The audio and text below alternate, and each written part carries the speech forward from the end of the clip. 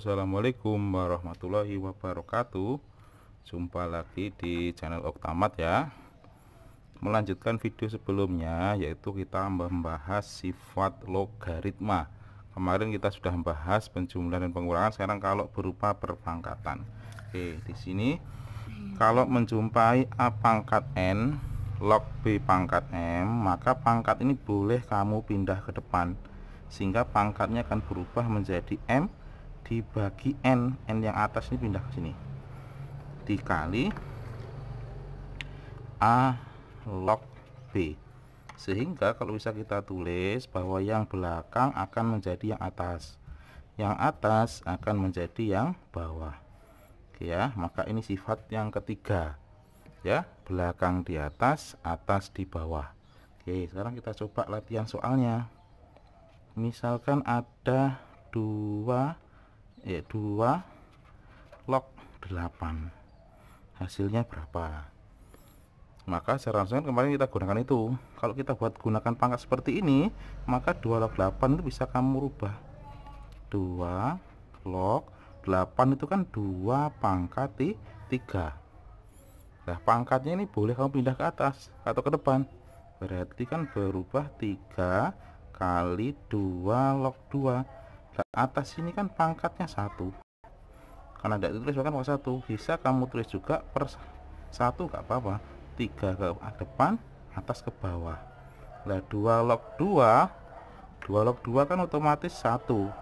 Berarti kan sama dengan berarti 3 nah gitu. Ya berarti kan 3 oke kita coba soal yang berikutnya. Misalkan 1 per 1 per 9 log 1 per 27 nah ini berapa? Ya ini berapa?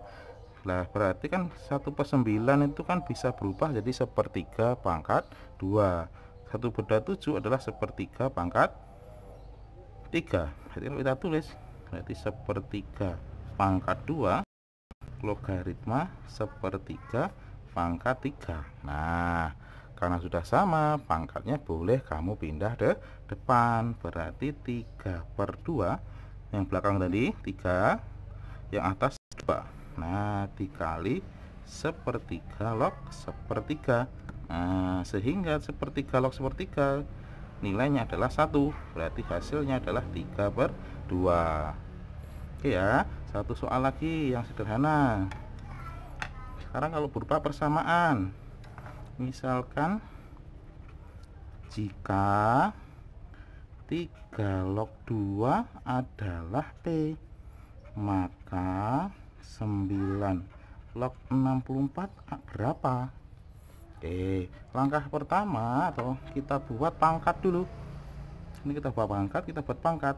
9 kan 3 pangkat 2 berarti 3 pangkat 2 logaritma 64 itu berapa? 2 pangkat 6 karena udah pangkat, berubah pangkat pangkatnya boleh kamu pindah depan.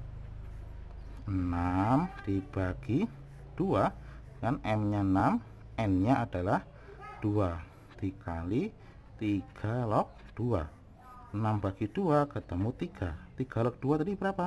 P. Berarti jawabannya adalah 3 P. Oke gitu aja dulu ya.